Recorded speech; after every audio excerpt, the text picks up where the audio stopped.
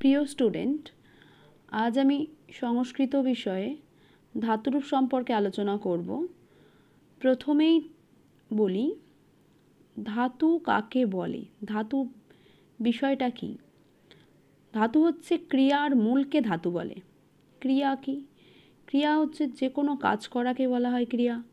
যেমন খাচ্ছি, ঘুমাচ্ছি, যাচ্ছি, ঘুরছি, সংস্কৃতে খাদতি, গচ্ছতি, সপ্পিতি এরা হচ্ছে সমস্ত ক্রিয়াপদ। এই যে ক্রিয়াপদগুলো আমি বললাম, এরা কোন মূল রূপ থেকে এসেছে? মূল ধাতু, কোন মূল ধাতু থেকে এসেছে? যে মূল অংশ থেকে এসেছে, সেই মূল অংশটাই হচ্ছে ধাতু। যেমন আমি যদি বলি খাদতি খাদতি বললে এর মূল রূপ কী? কোন মূল রূপ থেকে আমি খাদতি কথাটা পেয়েছি? সেই মূল রূপটাই হচ্ছে ধাতু। তাহলে খাদতি কথাটা কোথা থেকে এসেছে? খাদ থেকে। তা খাদ হচ্ছে মূল ধাতু। তেমনিভাবে আজকে আমাদের পাঠ্য পট ধাতু। পট মানে হচ্ছে পড়া। তাহলে পড়া ধাতু সম্পর্কে আমরা আজকে পড়ব। যে কোনো ধাতুরও পড়তে গেলে আমাদের প্রথমেই যে বিষয়গুলোকে খুব ভালো করে গুরুত্ব দিতে হবে, সেটা হচ্ছে পুরুষ পুরুষ সম্পর্কে আমাদের জানতে হবে। পুরুষ সম্পর্কে আলোচনা করতে গিয়ে একটু বলি, আমাদের যেটা খুব ভালো করে মনে রাখতে হবে সেটা হচ্ছে পুরুষের ভাগগুলো। পুরুষের তিনটে ভাগ, প্রথম পুরুষ, মধ্যম পুরুষ এবং উত্তম পুরুষ। এই তিনটে ভাগ ভালো করে মনে রাখতে হবে এবং কারা কোন পুরুষ সেটাও মনে রাখতে হবে। আগে উত্তম থেকে শুরু করি। উত্তম কথার অর্থ হচ্ছে সব থেকে ভালো। মনে রাখবে তোমরা যে নিজের থেকে ভালো আর কিছু হয় না পৃথিবীতে। তাহলে সব থেকে ভালো কে? নিজে মানে আমি? আমি যেখানে যেখানে থাকব সেগুলো উত্তম হবে। তাহলে আমরা দুজন যে, যদি বলি, তাহলে আমরা দুজনের মধ্যেও আমি আছি। তাহলে আমরা দুজনে উত্তম পুরুষ। যদি আমরা বলি, আমরার ভেতরেও আমি আছি। অতএব আমরাটাও উত্তম পুরুষ। তাহলে উত্তম পুরুষ কারা হলো? আমি, আমরা দুজন, আমরা। এবার চলে যাই মধ্যম পুরুষ। মধ্যম পুরুষ কাকে বলব? মধ্যম পুরুষ হচ্ছে, যতক্ষণ তুমি আমার চোখের সামনে থাকবে, ততক্ষণ তুমি হচ্ছে মধ্যম পুরুষ। আমার চোখের বাইরে চলে গেলে কিন্তু তোমাকে আমি নামে চিনব। অর্থাৎ তখন তুমি আমার কাছে প্রথম পুরুষ হয়ে যাবে। যতক্ষণ আমার চোখের সামনে থাকবে, ততক্ষণ পর্যন্ত তুমি মধ্যম পুরুষ। এবং তুমি যেখানে যেখানে থাকবে, অর্থাৎ যাদের সাথে থাকবে, তারাও মধ্যম পুরুষ। তুমি, তোমরা দুজন, তোমরা দুজনের মধ্যে তুমি আছো, তোমরা সেখানেও তুমি আছো। অতএব তুমি, তোমরা দুজন, তোমরা এরা হচ্ছে মধ্যম পুরুষ। এবার আসি প্রথম পুরুষ। উত্তম পুরুষ এবং মধ্যম পুরুষ বাদে, অর্থাৎ আমি, আমরা, তুমি, তোমরা বাদে পৃথিবীতে যা কিছু আছে সবই প্রথম পুরুষের মধ্যে পড়ে।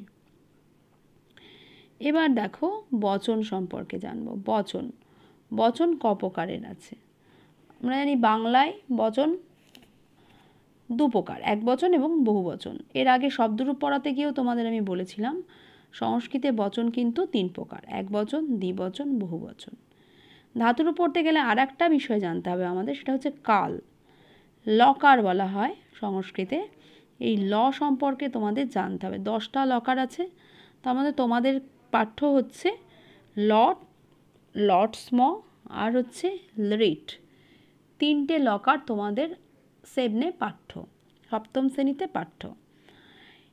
এই তিনটে লকার পড়তে গেলে তাদের বাংলা মানেটা প্রথমে জানতে হবে।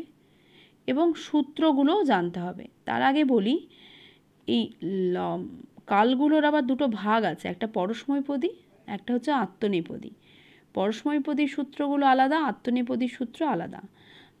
তোমাদের সেবনে পাঠ্য হচ্ছে পরশময়পদী আজকে আমি পরশময়পদীর সূত্র পড়াবো বলেই পর ধাতুকে বেছে নিয়েছি, কারণ পর ধাতু হচ্ছে পরশময়পদী ধাতু। ঠিক আছে? সব ধাতু আত্মনেপদী হয় না, সব ধাতু পরস্ময়পদী হয় না। কিছু কিছু ধাতু পরস্ময়পদী হয়, কিছু কিছু ধাতু আত্মনেপদী হয় এবং কিছু কিছু ধাতু উভয়পদী হয়, অর্থাৎ পরস্ময়পদীও হয় আত্মনেপদী হয়। অত এখন তোমাদের অবশ্য না জানলেও চলবে। শুধু মনে রাখবে পর ধাতু হচ্ছে পরস্ময়পদী আমরা আগে পরস্ময়পদীর সূত্র নিশ্চয়ই ফার্স্ট সামেটিভে তোমরা শিখেছ, তাও আমি আর একবার বলে দিচ্ছি। পরস্ময়পদী সূত্র শিখতে গিয়ে প্রথমেই আমাদেরকে সূত্র জানতে হবে। লটের প্রথম পুরুষটা আমরা আগে দেখব। প্রথম পুরুষ এক বচনে কি হয়? তি দ্বিবচনে তস, বহু বচনে অন্তি। তাহলে এক বচনে তি দ্বিবচনে তস, বহু বচনে অন্তি। মনে রাখবে যে এই তস, দন্তসহস যেখানে যেখানে থাকবে আমরা ধাতুর সূত্রে পাবো, সবই কিন্তু বিসর্গ হয়ে যাবে। তোমরা দেখতেই পাচ্ছ যে আমি তসটাকে ত বিসর্গ হিসেবে দেখিয়েছি। যখন আমি ধাতুর সাথে যোগ করব, তখন কিন্তু তস লিখব না। তখন কি লিখব? এই ত বিসর্গকে লিখব। অর্থাৎ সহসনটাকে তখন আমি উঠিয়ে দেব। সহসন্ত উঠিয়ে আমি শুধু কি করব? ত বিসর্গকে রাখব। এরপরে কি? তিতস অন্তি। মনে রাখবে যে এই প্রথম পুরুষ এক বচনে যে পদটাকে পাবো সব সময় প্রথম পুরুষ বহু বচনে অন। অনের সাথে এটা যোগ হবে। অদন্তন হসন্ত। অনের সাথে প্রথম পুরুষ এক বচনে যা পাবো সেটা যোগ হবে। তাহলে প্রথম পুরুষ এক বচনে আমি কি পেয়েছি? তি যোগ, তি পেয়েছি। আমি কি বললাম? অনের সাথে যোগ করব। তাহলে অনের সাথে তি যোগ করলে কি হলো? অন্তি। অনের সাথে তি যোগ করলে হলো অন্তি। একটু দেখে নাও কি করে করলাম। অনহসন। আর ওপরে আমি কাকে পেয়েছি? তিকে পেয়েছি। এই দুটো যোগ করে আমি পাচ্ছি কি অন্তি কথাটা। অন আর তি যোগ করে হলো অন্তি। এটা মনে রাখবে, সব প্রথম পুরুষের ক্ষেত্রেই একই নিয়ম। এইবার দেখো, সি মধ্যম পুরুষ এক বচনে হচ্ছে সি দ্বিবচনে থস, বহু বচনে থ। উত্তম পুরুষ এক বচনে মি দ্বিবচনে বস, বহু বচনে ম। দেখো সব হসন, দন্ত সহসনগুলো কিন্তু বিসর্গরূপ হয়ে যাবে। এবং আমি ধাতুরূপ লেখার সময় কিন্তু বিসর্গ যোগ করেই লিখব। আচ্ছা এবার একটু বলি, এই যে থস আর থ এটাকে একটু বুঝিয়ে দিই আর একবার দেখো থস থস বানানটা কি দাঁড়াচ্ছে থ বিসর্গ। এই থ আর এই থ, এই দুজন থকে দেখতে কিন্তু একই রকম, ঠিক আছে? এদেরকে আমরা যমজ ভাই রূপে মনে রাখতে পারি। যমজ ভাইদের কি হয়? একই রকম দেখতে হয়, কিন্তু কোনো না কোনো পার্থক্য দুজনের মধ্যে থাকে। তো এখানে আমরা দেখছি, মনে রাখবে, যমজ ভাই বলে যদি মনে রাখি, তাহলে দেখো, মধ্যম পুরুষ দ্বিবচনে যমজ ভাইয়ের গালে কি আছে? তিল আছে, অর্থাৎ বিসর্গ আছে, কিন্তু এর কোনো তিল বা বিসর্গ নেই। এইভাবে আমরা মনে রাখতে পারি যে এটা বিসর্গযুক্ত আর এটা বিসর্গবিহীন। ঠিক আছে? এবার দেখো, আমরা ধাতু, এর সঙ্গে আমরা সূত্রটা শিখলাম, এবার ধাতু শিখব, যোগ করা। খুব সোজা, যদি তোমার সূত্র মুখস্থ হয়ে গিয়ে থাকে, তাহলে ধাতু পড়াটা খুব সোজা। মূল ধাতু কি? আমার পট। এই শুধু পটটা সমস্ত সূত্রের আগে আমি যোগ করে দেবো। দেখো, আমি প্রথমে একটা যোগ করেছি, পট তিয়ের সাথে যোগ করে কি হলো? পঠতি। তাহলে দ্বিবচনে কি হবে? দ্বিবচনেও আমি শুধু পটটা যোগ করে দেবো। প আর ঠ। পট যোগ করব। কিন্তু আমরা তদন্ত দন্ত সহসন্ত রাখব না। আমরা একে রাখব না। আমরা কি যোগ করব? ত বিসর্গকে যোগ করব পটের সাথে। তাহলে ত বিসর্গকে যোগ করলে কি হবে? পঠ ত। তস করব না, ত করব। পঠ ত। ঠিক আছে? তাহলে এটা লেখার তো জায়গা পাচ্ছি না। এখানে লিখে দেব। নিচ দিয়ে একটু লিখে দিচ্ছি আমি ছোট্ট করে। রূপটা তাহলে কি দাঁড়াল? পঠত রূপটা দাঁড়াল তাহলে পঠত। এবার আসছি পটধাতু, এই অন অন্তির সঙ্গে যোগ করতে হবে। দেখো, পট এর সাথে অন্তি যোগ করব। তাহলে এটা কি দাঁড়াবে টোটালটা গিয়ে? টোটালটা গিয়ে দাঁড়াবে আমার পঠন্তি, পট যোগন্তি, এটা গিয়ে দাঁড়াবে পঠন্তি। কী দাঁড়াল তাহলে? পঠন্তি। পঠের সাথে আমি অন্তিটাকে যোগ করলাম। সূত্র অনুযায়ী আমার অন্তি ছিল, পঠের সাথে যোগ করে আমি উত্তরটা কি পেলাম? পঠন্তি পেলাম। তাহলে কি দাঁড়াল? পঠতি, পঠত, পঠন্তি। এবার চলে যায় মধ্যম পুরুষে। শুধু কি বলেছি? সূত্রের আগে পট ধাতুটাকে বসিয়ে দেবো। আমার কি আছে? সি আছে। তাহলে দাও বসিয়ে পটকে। কি হয়ে গেল? পটসি কত সোজা দেখেছ? দ্বিবচনটাও একইভাবে পট লাগিয়ে দাও। পঠ। থস, কিন্তু আমরা থস লিখব না। আমরা ঠিক আগেরটার মতোই কি লিখব? পঠ, থ লিখব। পঠ, থ। ঠিক আছে? এটাকে আমরা লিখব না, আমরা লিখব পঠ, থ। তারপর কি? দেখো, পঠ, থ। আমি একটু আগে বলেছিলাম, যমজ ভাই। আচ্ছা একে লিখে নিই, তারপরে। এর সাথেও পঠ যোগ করব, প আর ঠ। দেখো কেন যমজ ভাই বলেছিলাম, সেটা একটু বিশ্লেষণ করি। দেখো থ আর থ, থস মানে থ আর থ, এরা দুজন যদি যমজ ভাই হয়, দেখো এদের বাবা মা যদি আমরা ধরি প হচ্ছে বাবা, আর ঠ হচ্ছে মা, তাহলে দেখো এরও বাবা মা যে, এরও বাবা মা সে, তাই না? তাই আমরা একে, এদেরকে অবশ্যই যমজ ভাই বলে কল্পনা করে নিতে পারি। ঠিক আছে? মনে রাখার সুবিধের জন্য। ঠিক আছে? তাহলে একজনের গালে বলেছি তিল থাকবে, একজনের তিল থাকবে না। পঠথ পঠথ এবার চলে যায় উত্তম পুরুষ এক বছরে। খুব ভালো করে মনে রাখতে হবে যে উত্তম পুরুষ এক বছর মাত্রেই কিন্তু সব সময় একটা আকার যোগ হবে মূল ধাতুর সাথে। তাহলে মূল ধাতুর কি আমার? পট। মূল ধাতু কি? পট। তার সাথে আকার যদি যোগ করি, তাহলে কি হবে? পঠা। প আর ঠয় আকার লিখতে হবে আমাকে। পঠা। আর মি তো আমার আগেই দেওয়া আছে। তাহলে কি দাঁড়াল? পঠা মি। বোঝা গেল? পঠের সাথে আমি কি বলেছি? উত্তম পুরুষ হলেই সব কটা বচনে আমি আকার যোগ করব। তাহলে পঠের সাথে আকার যোগ করলাম হলো পঠা আর মি সূত্র অনুযায়ী বসে গেল। একইভাবে তাহলে প, বসের সাথেও প আর ঠয়াকার যোগ করব কিন্তু আমরা যখন উত্তর, ধাতুরূপ তৈরি করব তখন কিন্তু বস করব না। এই বকে যোগ করব, পঠা ব। একইভাবে পঠা মশের আগে যোগ করব, কিন্তু ধাতু যখন প্রয়োগ করব, তখন আমরা মশ করব না, কাকে যোগ করব? মকে যোগ করব, পঠা ম। নিশ্চয়ই এটুকু বুঝতে পেরেছ? এবার এটার আমরা বাংলা মানেটাও দেখে নিই, কী বাংলা মানে হতে পারে? দেখো, আমি প্রথমেই বলেছিলাম যে, প্রথমেই বলেছিলাম যে প্রথম পুরুষ কারা, মধ্যম পুরুষ কারা এবং উত্তম পুরুষ কারা, আমি আগেই বাংলাটা বলে দিয়েছিলাম। তো প্রথম পুরুষ আমি বলেছিলাম, আমি, আমরা, তুমি, তোমরা, বাদে যা আছে পৃথিবীতে সবাই প্রথম পুরুষ।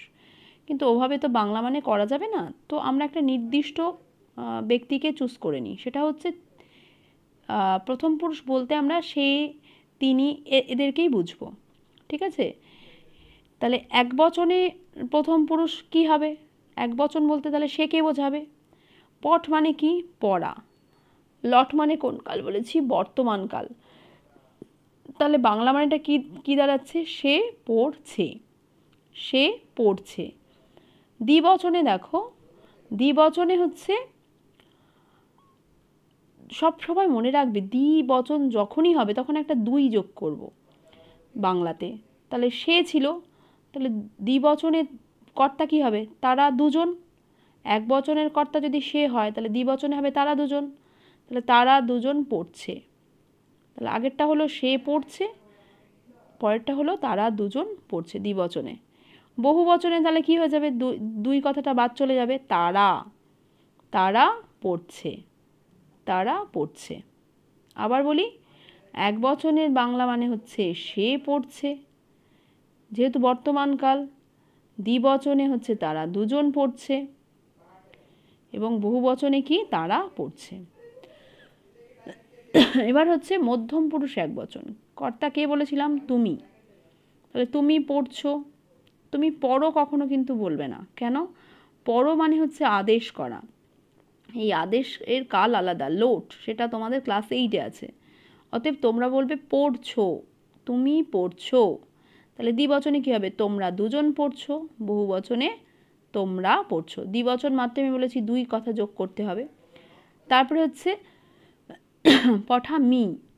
দেখো, মজার ব্যাপার হচ্ছে, উত্তম পুরুষ এক বচনের বাংলা মানে কর্তাকে এক বচন হচ্ছে আমি। দেখো, এখানে পটটাকে ঢাকো। দেখো, আমি যোগ করা আছে, তাই না? আকার আর ময় হস্যি কী হয়? আমিই হয়। তাহলে মনে রাখবে, উত্তম পুরুষ এক বচনের কর্তা যেহেতু আমি, মূল রূপের সাথেও বর্তমানকালে অর্থাৎ লটে আমি যোগ করা আছে। তাহলে পঠা আমি, কর্তা আমি আমি কি করছি? পড়ছি, আমি পড়ছি। দ্বিবচনে পঠাবাহ আমরা দুজন পড়ছি পঠামাহ আমরা পড়ছি। এবার চলে যায় লট স্ম যোগ করে অতীতকাল লট স্ম লটের পর একটা স্ম লাগালে অতীতকাল হয়। এটা তোমরা সেভেনের জন্য শিখবে। ক্লাস এইটে এর একটা লকার আছে, যেটার নাম হচ্ছে লং লং মানে হচ্ছে অতীতকাল। কিন্তু তোমরা এখন লট স্ম করেই শিখবে। খুব সোজা, আমরা যে লটের সূত্রগুলো শিখলাম, এই সূত্রগুলোই দেখো আমি এখানেও লিখে রেখেছি। কারণ এই সূত্রটাই আসবে। এই সূত্রটাই আসবে, শুধু এদের সঙ্গে আমি একটা করে স্ম লাগিয়ে নেব। তাহলে সব থেকে মজার ব্যাপার হচ্ছে আমি লট যা যা পড়লাম, আমার কাছে বোর্ড থাকলে তোমাদের আরও ভালো করে বোঝাতে সুবিধে হতো। মুছে মুছে করলে, তোমরা একটা কাজ করবে, যখন পড়বে তখন পেন্সিল, ইরেজার নিয়ে বসবে এবং লিখবে যখন খাতাতে, মুছে মুছে করবে ইরেজার দিয়ে মুছে মুছে করবে, দেখবে যে তোমরা অনেক ভালো শিখতে পারবে। তাহলে দেখো, এই যে তি আমি আগেই লটের ক্ষেত্রেই দেখেছি যে এক বচনে তি হয়। এখানেও আমরা দেখতে পাচ্ছি এক বচনে তি। তা আমার অ্যাকচুয়ালি পট ধাতুর লট আমি যা পড়েছি, সবটাই তাই লিখতে হবে। শুধু একটা করে স্ম এক্সট্রা যোগ করব। তাহলে তিয়ের আগে আমি কি লাগিয়ে নেব? পঠতি। তিয়ের আগে আমি একটা পঠ কথাটা লাগিয়ে নেব। পঠ, পঠতি। এরপরে একটা কি লাগাবো? স্ম। পঠতি স্ম। ঠিক আছে? দ্বিবচন। দ্বিবচনে একইভাবে আমার কি ছিল? পঠ ত হবে। শুধু পট কথাটা সব জায়গায় আমি লাগিয়ে নেব। তসটা কি হয়ে যাবে? ত হয়ে যাবে। আমি শটা কেটে দিচ্ছি। দিয়ে একবারে তস করে দিলাম। পঠ ত। পঠ ত এর সাথে স্ম লাগিয়ে দেবো। পঠ ত, স্ম। একইভাবে অন্তি রটা আমি কেটে দিই। দিয়ে শুধু একটা পট লাগিয়ে দিই। ওটা সূত্র ছিল। আমি সূত্রটাকে অটা কেটে দিলাম, কারণ অসন্ধি হয়ে গেল ঠয়ের সাথে। পঠন্তি, এর সাথে কি লাগাবো? পঠন্তি স্ম। পঠন্তি স্ম। নেক্সট পঠসি। প, ঠ লাগাবো। কত ইজি বুঝতে পেরেছ? লটেও যা পড়েছি, আমরা লটস মতো তাই পড়ছি। শুধু একটা করে স্ম এক্সট্রা যোগ করছি। পঠ সি স্ম। একইভাবে পঠ পঠ থ বিসর্গ করে দিই দন্তস্বটাকে। পঠ থ স্ম। পরেরটাও তাই। এটাতে বিসর্গ হবে না। পঠ থ স্ম। বুঝতে পেরেছ? তাহলে লটে যা পড়েছি তাই কিন্তু। আবার সেই একই কথা বলব, উত্তম পুরুষ মাত্রই একটা আকার যোগ হবে। লটেও আমরা তাই পেয়েছি, পঠামিটাই পেয়েছিলাম। এর সঙ্গে আমি শুধু একটা স্ম লাগিয়ে দেবো, পঠামি স্ম একইভাবে পঠা ব দন্তস্বকে বিসর্গ বানিয়ে দিই। পঠা ব স্ম এটা হবে পঠা ম, বিসর্গ করে দিই এটাকে। পঠা ম স্ম এখানে ও স্ম লাগাতে ভুলে গেলাম। পঠা ব অ্যারো দিয়ে একটু ওপরে লাগিয়ে দিচ্ছি। এখানেও একটা স্ম লাগাতে হবে। এখানেও একটা স্ম লাগাতে হবে। পঠা বস্ম, পঠা মস্ম। স্ম বোঝা গেল? এবার চলে যাই ভবিষ্যৎকাল। ভবিষ্যৎকালের সূত্রে দেখো, ভবিষ্যৎ, বানানটা একটু দেখো। ভবিষ্য, একটা সয়জফলা আছে। বাংলাতে যেমন একটা সয়জফলা আছে সংস্কৃতেও আমাদের একটা সয়জফলা আসবে ফর্মুলার আগে। তাহলে ফর্মুলার আগে সয়জফলাটা কি? দন্ত সয়জফলা হবে, ঠিক আছে? দন্ত সয়জফলা হবে। আমি লিখলাম না, কারণ কাটাকাটি হয়ে যাবে বেশি। আমি মুখে বলে দিচ্ছি, এখানে দন্ত সয়জফলা সবার আগে যোগ হবে। তাহলে ফর্মুলাটা কী দাঁড়াচ্ছে? সতি, সাতাস, সয়জফলা আগে দিলে। সন্তি, এখানে সয়জফলা সন্ধি হয়ে যাবে। তারপরে কী হবে? সসি, সাথাস, সাথা। নেক্সট হচ্ছে, উত্তম পুরুষ মাত্রে আমি বলেছি আকার আসবে, তাহলে সয়জফলা আকার স্যামি, স্যাবাস, স্যামাস। সব সয়জফলার সঙ্গে একটা করে আকার যোগ করলাম। এইবার দেখো, এই যে সতী বললাম, কিন্তু আমার মূল ধাতু কি আছে? আগে আমি একটু লিখে নিই। পট ধাতু আমার মূল ধাতু, তাই তো? পট। এই মূল ধাতুগুলোর সাথে সাধারণত কি হয়? ভবিষ্যৎকালে একটা হস্যিকার যোগ হয়। তাহলে পটের সাথে হস্যি যোগ করলাম পটি। কিন্তু আমার ফর্মুলাতে কী ছিল? দন্তস্বয়জফলা। আমরা কি জানি? অকার আকারের পর দন্তস্ব হয়। কিন্তু অকার আকার ভিন্ন বর্ণ থাকলে পেট কাটা স হয়? তো এখানে হস্যিকার আছে। এখানে হস্যিকার যেহেতু আছে, তাহলে কোন স হবে বলো? দন্ত হবে না নিশ্চয়ই? পেট কাটা স হয়ে যাবে। তাহলে এই জন্য আমি আগে দন্তস্বটা লিখিনি।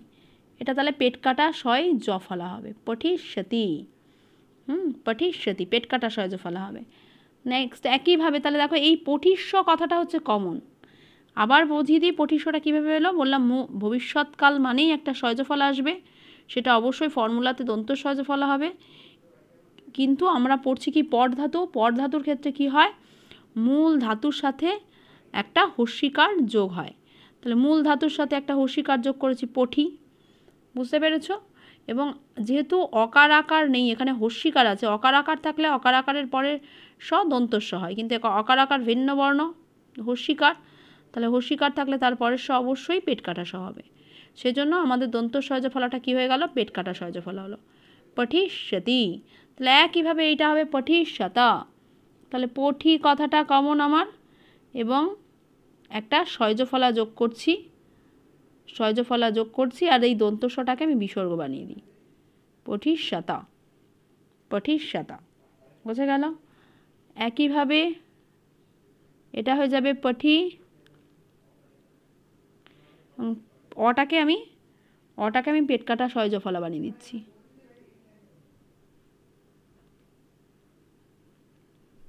পঠিষ্যন্তি একটু পরিষ্কার করে নিচ দিয়ে লিখে দিই, বোঝা যাচ্ছে না।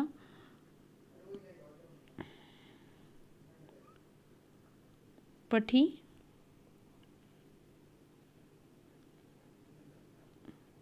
পঠিষ্যন্তি বোঝা গেল? এটাই লিখলাম নিচে।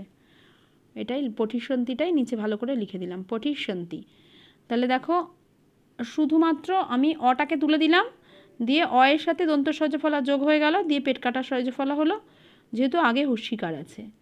তাহলে সবগুলোর ক্ষেত্রে আমি কি দেখতে পাচ্ছি? দেখো, পঠিষ্য কথাটা হচ্ছে কমন কথা। পঠিষ্য, এখানেও পঠিষ্য এখানেও পঠিষ্য। তাহলে সব জায়গায় একটা করে পঠিষ্য কথা লাগাতে হবে। এখানেও তাহলে আমার পঠিষ্য কথাটা আসবে। এখানেও এখানেও পঠি। পেট কাটা সয়জ ফলা হবে শশী। নেক্সট এটা হয়ে যাবে পঠির সাথা পঠি, পেট কাটা ফলা। থ বিসর্গ পঠির সাথা একইভাবে এটা হবে পঠির সাথা পট পেট কাটা সয় জফলা তাহলে আমি এই একটা কথা কমন পাচ্ছি সবার সঙ্গে। আগে একটা করে পঠিষ্য কথা লাগিয়ে দিলেই হয়ে যাচ্ছে। এখানে থয় দন্তসাটাকে বিসর্গ করে দিয়েছি, ঠিক আছে? পঠিষ্যথা এবার চলে যাও মি, সেই বলেছিলাম উত্তম পুরুষ মাত্রই আকার যোগ হবে তাহলে এতক্ষণ আমি পঠিষ্য পেয়েছি, কথাটা পেয়েছি পঠিষ্য কিন্তু এবার আমি একটা আকার যোগ করব পঠিষ্যতে পঠিষ্যতে একটা আকার যোগ হয়ে যাবে। প, ঠয়হস্যি পেট কাটা সয়জফলা, আকার। পঠি শ্যামী হয়ে যাবে। কেন? কারণ এটা উত্তম পুরুষ। উত্তম পুরুষ মাত্রে একটা আকার যোগ হবে। একইভাবে পঠি শ্যা ব হয়ে যাবে। ব বিসর্গ। পঠি শ্যা ব। একইভাবে হয়ে যাবে পঠিস্যা পঠিস্যা ম দন্তস্বটা বিসর্গ করে দিই। পঠিশ্যাম পঠিশ্যাব পঠিশ্যাম তাহলে কি হলো? উত্তম পুরুষ বলে একটা করে আকার যোগ করলাম পঠিশ্যামী পঠিশ্যাব পঠিশ্যাম আচ্ছা বাংলা মানেটা বলা হয়নি লর্ডসময়ের লর্ডসময়ের বাংলা মানেটাতে চলে যায় লটের বাংলা মানেটা বলে দিয়েছিলাম। লর্ডসময়ের বাংলা মানে দেখো, তাহলে আমরা কি শিখেছি? প্রথম পুরুষ, প্রথম পুরুষের কর্তাকে, প্রথম পুরুষের কর্তা হচ্ছে সেই, এক বচনে। এক বচনে প্রথম পুরুষের কর্তা সেই। এইবার দেখো, আমরা পড়ছি কোন কাল? পড়ছি বাংলাতে অতীতকাল সংস্কৃতে লর্ডস ম। এই অতীতকালে মনে রাখবে যে বাংলা ক্রিয়াপদের শেষে অতীতকালে পুরুষ অনুযায়ী পুরুষ অনুযায়ী, অর্থাৎ প্রথম পুরুষ, মধ্যম পুরুষ এবং উত্তম পুরুষ অনুযায়ী কি যোগ হয়? প্রথম পুরুষের যোগ হয় ল, বাংলা ক্রিয়ার শেষে মধ্যম পুরুষের যোগ হয় লে, আর উত্তম পুরুষের যোগ হয় লাম। এটা মনে রাখবে। তাহলে পুরুষ অনুযায়ী কী যোগ হচ্ছে? ল, লে, লাম। দেখি এবার কীভাবে যোগ হচ্ছে। তাহলে ল যোগ হচ্ছে। মূল ধাতু আমার পট মানে পড়া, কর্তাকে সে। তাহলে এক বচনের কর্তা হচ্ছে সে। কী হবে বাংলা মানে? সে সে পড়েছিল। দ্বিবচনে কি? দ্বিবচনে তারা দুই লাগাবো, তারা দুজন তারা দুজন পড়েছিল। দেখো শেষে একটা করে ল লাগাচ্ছি। সে পড়েছিল, ল। তারা দুজন পড়েছিল ল। এবার হচ্ছে বহুবচন। যেহেতু বহু বচন তাহলে কি হবে? তারা তারা পড়েছিল। ঠিক আছে? এবার আমি বলেছি বাংলা ক্রিয়াপদের শেষে মধ্যম পুরুষে একটা লে যোগ হবে। তাহলে পঠসী মানে তুমি। তুমি এক বচনের কর্তা, তুমি পড়েছিলে। লে যোগ হলো পড়েছি লে তাহলে লে যোগ হলো দ্বিবচনে তোমরা দুজন পড়েছিলে। দেখো, পড়েছিলে কথাটা কিন্তু কমন ধাতুটা কিন্তু একই থাকছে। শুধু কর্তা আগে যোগ করে আমরা প্রমাণ করে দিচ্ছি যে সে এক বচনে আছে দ্বিবচনে আছে না বহু বচনে আছে। শুধু যদি পড়েছিল বা পড়েছিলে এরম বলি তিনটে বচনেই, তাহলে বুঝতে পারব না কোনটা এক বচন, কোনটা দ্বিবচন কোনটা বহু বচন। সেই জন্য একটা করে কর্তা যোগ করে নিচ্ছি। তাহলে তোমরা দুজন পড়েছিলে দ্বিবচনে বহু বচনে, তোমরা পড়েছিলে। উত্তম পুরুষে কি বললাম? লাম যোগ হয়। তাহলে কর্তাকে এক বচনে আমি? দেখো, আমি রয়েছে, বলেছি পট ধাতু তুমি যদি ঢাকো, পটকে ঢাকো, দেখো, আমি রয়েছে, তাই তো? পঠামি স্ম, তাহলে আমি যোগ আছে, আমি আমি আমি উত্তম পুরুষ, বাংলা মানেটা আমি দিয়ে শুরু হবে, এক বচন। আমি পড়েছিলাম, আমরা দুজন পড়েছিলাম, আমরা পড়েছিলাম। এবার চলে যাই আমরা লিট মানে ভবিষ্যৎকাল। ভবিষ্যৎকালেও বাংলা ক্রিয়াপদের শেষে পুরুষ অনুযায়ী প্রথম পুরুষে ব মধ্যম পুরুষে বে সরি প্রথম পুরুষে বে, সে পড়বে বে বে, মধ্যম পুরুষেও বে আর উত্তম পুরুষে ব যোগ হয়। আবার বলি, প্রথম পুরুষে বাংলা ক্রিয়া শেষে বে, মধ্যম পুরুষেও বে আর উত্তম পুরুষে ব যোগ হয়। তাহলে এক বছরের কর্তাকে সে পড়া ধাতু তাহলে কী হবে? সে পড়বে, আমি বলেছি বে যোগ হবে। সে পড়বে দ্বিবচনে তারা দুজন পড়বে, বহুবচনে তারা পড়বে। মধ্যম পুরুষে কী হবে? এক বচন কর্তাকে তুমি তুমি পড়বে, তোমরা দুজন পড়বে, তোমরা পড়বে। আমি বলেই দিয়েছি মধ্যম পুরুষও বে যোগ হবে বাংলা ক্রিয়া শেষে। তাহলে তুমি পড়বে, তোমরা দুজন পড়বে, তোমরা পড়বে। উত্তম পুরুষে আমি পড়ব, আমরা দুজন পড়ব, আমরা পড়ব। বুঝতে পেরেছ সবাই? তাহলে এখানেই আমাদের পট ধাতু সমাপ্ত হলো। আশা করি সবাই বুঝতে পেরেছ, তবুও যদি কোনো সমস্যা থাকে, আমাকে তোমরা মেসেজ করতে পারো। হ্যাঁ আমি চেষ্টা করব নেক্সট আবার তোমাদেরকে ভালো করে বুঝিয়ে দেবার। বুঝে গেল? সবাই ভালো থেকো, সুস্থ থেকো। হুম?